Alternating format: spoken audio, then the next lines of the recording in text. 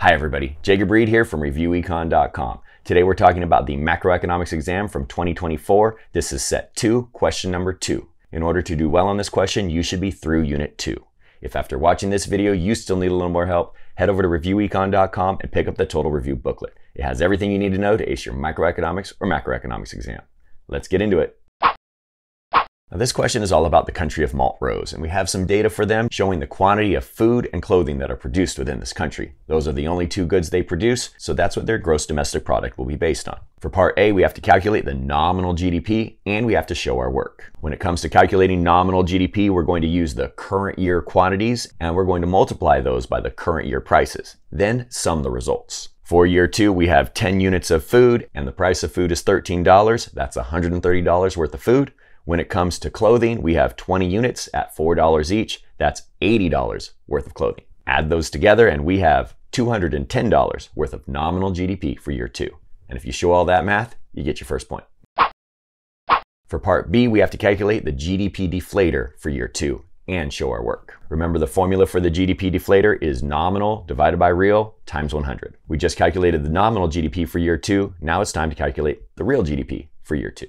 The formula for real GDP is the current year quantities times the base year prices. And then you once again sum the results. There's 10 units of food times $10, that's $100 worth of food, and 20 units of clothing times $5 is $100 worth of clothing. Add those together and it's $200 worth of real GDP.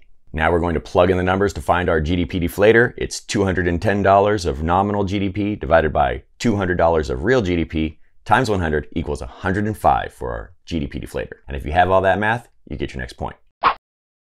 For part C, we are asked what the inflation rate is between year one and year two. In order to calculate the inflation rate, we first have to remember that the deflator for the base year is always 100. And then the formula for the inflation rate is new minus old divided by old times 100. Plug in those numbers and do the math. 105 minus 100 divided by 100, then times 100. And that gives us a 5% inflation rate between the two years. And if you have that, you get your next point.